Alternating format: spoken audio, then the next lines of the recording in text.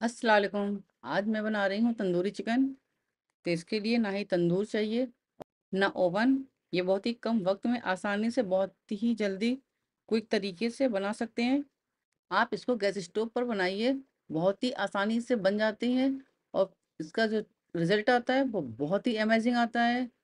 Tandoori chicken के लिए यहाँ पे हमने सिर्फ़ लेग पीस को ही लिया है और उसका ही मैंने बनाया है तंदूरी चिकन। ब्रेस्ट का लेंगे तो वो थोड़ा सा हार्ड होता है। तो इसलिए लेग पीस ही प्रेफर किए हमने। तंदूरी चिकन बनाने के लिए हमने कुछ लेग पीस लिए हैं तो उसको हमने धो के और जाली के बर्तन में रख दिया है, जिससे कि इसका एक्स्ट्रा पानी निकल जाए। इसके बाद हम इसके दोनों तरफ़ कट लगा लेंगे। जो हम कट लगाएँगे, वो कट हम डीप लगाएँगे जिससे कि जब हम मैरिनेट करें तो सारे मसाले का फ्लेवर लेग पीस में आ जाए। तो इस तरीके से हम सारे लेग पीस में कट लगा लेंगे। अब हम चिकन को बाउल पर ट्रांसफ़र कर लेंगे। अब हम इसको करेंगे मैरिनेट। तो इसके लिए हम निकाल लेते हैं मसाले। तो इसमें हम सबसे पहले ऐड करेंगे दही। तो यहाँ पे हमने दही लिया है एक चम्मच, अराउंड फिफ्टी ग्राम। और यहाँ पे हमने लिया है एक नींबू का रस। तो उसको भी इसमें हम ऐड कर देंगे। इससे मैरिनेशन जल्दी हो जाता है दही नींबू दोनों को ऐड करने से। यहाँ पे हम लेंगे एक चम्मच जिंजर गार्लिक पेस्ट। आधा चम्मच ऐड करेंगे चिकन टिक्का मसाला। और आधा चम्मच ऐड करेंगे होममेड गरम मसाला। और आधा चम्मच ऐड करेंगे तीखी लाल मिर्च पाउडर।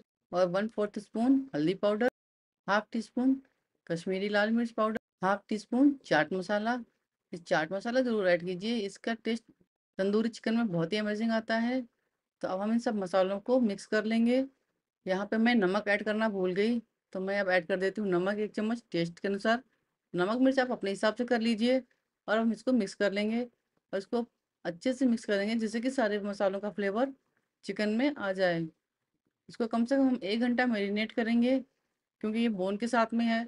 बोन का चिकन थोड़ा देर से मैरिनेट होता है, टाइम लगता है उसको। तो अगर टाइम हो तो दो घंटे मैरिनेट कर लीजिए। वैसे तो हम कहते हैं कि अगर ओवरनाइट मैरिनेट करके छोड़ दीजिए फ्रिज में तो सुबह का रिज़ल्ट देखिए, बहुत ज़बरदस्त होता है। तो हम तो मोस्टली रात को ही मैरिनेट करके छोड़ देते हैं।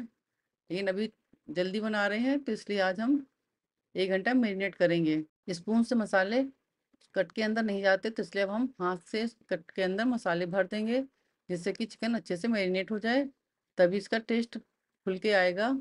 अब इसको मार्केट जैसा लुक लाने के लिए, इसमें हम थोड़ा सा ऐड कर देंगे फ़ूड कलर। तो यहाँ पे हमने रेड कलर का फ़ूड कलर लिया है तो इसको भी हम इसमें मिक्स कर देंगे। कलर मिक्स करने के बाद में इसको हम एक घंटा रेस्ट करने के लिए छोड़ देंगे। चिकन मैरिनेट किए हुए एक घंटा हो गया है तो अब इसको कुक कर लेते हैं। तो यहाँ पे लिया है हमने पैन। तो उसमें हमने थोड़ा सा तेल ऐड कर दिया, जिससे कि पैन में हल्की सी ग्रीसिंग हो जाए और चिकन के पीस उसमें चिपके नहीं।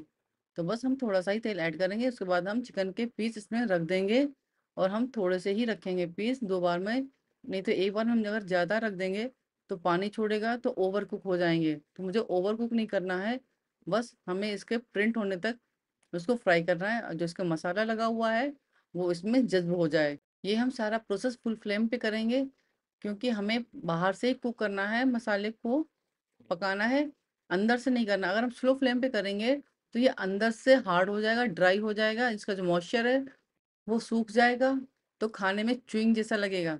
तो इसको फुल फ्लेम पे हम एक से दो मिनट रखेंगे, उसके बाद में इसको हम पलट देंगे। तो एक दो मिनट के बाद में जब हम पलटते हैं तो ये देखिए मसाला है, जो इसका दही का पानी होता है, वो जल्दी ड्राई हो जाता है अगर आप इस तरीके से स्टेप बाय स्टेप फॉलो करेंगे तो आपका चिकन बहुत ही जूसी और टेंडर बन के तैयार होगा। ओवर कुक भी नहीं होगा, जो इसका पानी है, मॉइस्चर है, वो बना रहेगा, बरकरार रहेगा इसमें, तभी इसका खाने का मज़ा आता है। अगर आप इस चैनल पर पहली बार आए हैं तो लाइक कर लीजिए और रेसिपी अच्छी लगे तो सब्सक्राइब कर लीजिए और दोस्तों में शेयर कीजिए।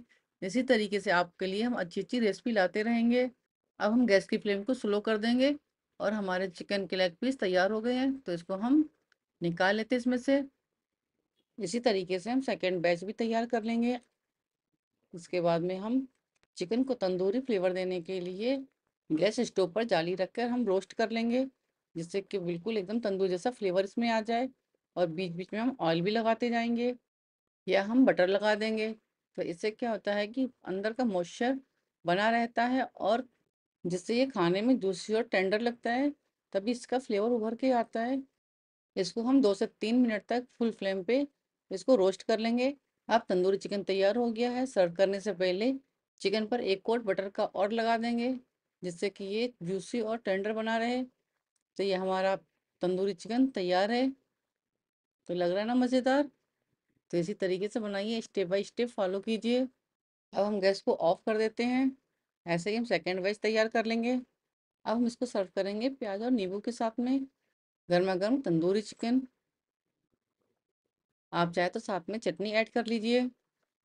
प्याज चटनी का भी एक बहुत अच्छा कॉम्बिनेशन होता है तंदूरी चिकन के साथ में। तो हम यहाँ पे सिर्फ़ नींबू और प्याज के साथ में ही सर्व कर रहे हैं।